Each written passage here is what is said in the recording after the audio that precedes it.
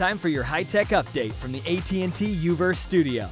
This time around, I found a pillow that props up your tablet so you can watch movies in peace, plus the fastest way to mount your smartphone in just about any car. Here are more of my favorite things. First up, the iProp. It's a universal stand that works just about anywhere. Let the pillow do the work of holding up your screen so your hands are free to do more important things like stuff your face with snacks. iProp is $30. There are lots of phone mounts for your car, but the Inno Traveler is as easy as one, two, stick.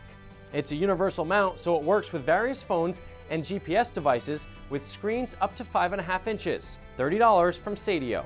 A dead phone battery is no fun, but Pure Gear's retro game cases are. Games are built right into the back. There's mazes, pinball, and more. $30 each. Sometimes it's fun to be old school. I'm Rich DeMuro. That's your Tech Report.